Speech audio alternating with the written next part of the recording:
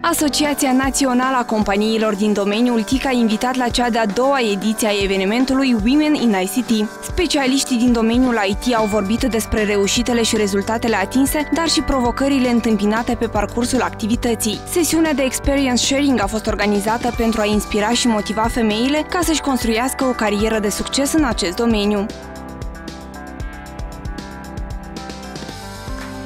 E o ocazie foarte bună să încurajez tinerile care aspiră spre acest domeniu, prin exemplu personal, prin experiența pe care o am și prin povestea mea de succes. Noi, natural, probabil avem calități foarte bune de spirit de analiză, perseverență și prin multă, multă muncă, eu cred că este real pentru фете, собственно, че дореск. Наша жизнь должна подчиняться какому-то возрасту, либо каким-то академическим этапам, которые каждый должен пройти. Там, закончил садик, поступил в школу, потом в университет. Вот если у вас проснулось желание, вы чувствуете внутреннюю энергию и э, понимаете, что вы готовы отдать обществу, либо вы хотите поделиться с чем-то, милости просим. Женщины прекрасно показали себя как управленцы и будучи в роли менеджеров проекта. În cadrul evenimentului a avut loc ceremonia de recunoaștere recunoaștere și apreciere Women in ICT, unde au fost menționate doamnele care s-au remarcat în sectorul IT din Moldova, fie pentru performanțele atinse în virtutea pozițiilor pe care le dețin în cadrul companiilor IT, fie prin contribuția valoroasă în procesul de educare a profesioniștilor. IT, там много всего. Там можно быть кем угодно. Там можно быть человеком, где там больше надо за порядком управлять, где надо творчество проявить, все что угодно. То есть в зависимости от характера вы можете себя проявить, как вы хотите. Поэтому идите, просто э, нужно найти то, что именно вам подходит.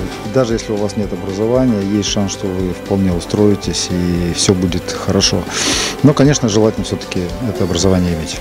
Tinerele aflate la începutul unei cariere IT au avut posibilitatea să comunice între ele într-o ambianță prietenoasă, împărtășind experiențe și opinii. Интересно встретиться с женщинами, которые работают в области IT и вполне успешно работают. A fost interesant să aud părerile și experiența profesională a celor care au uh, fost invitați ca vorbitori. Invit toate tinerile să vină la ediția următoare, să vadă că domeniul IT este de perspectivă și este foarte interesant. Evenimentul Women in ICT este organizat de Asociația Națională a Companiilor din domeniul TIC cu susținerea financiară a Ministerului Tineretului și Sportului în cadrul programului de granturi 2015 și cu suportul Agenției Statelor Unite pentru Dezvoltarea Internațională USAID în cadrul proiectului de dezvoltare a Centrului de Excelență în domeniul TIC.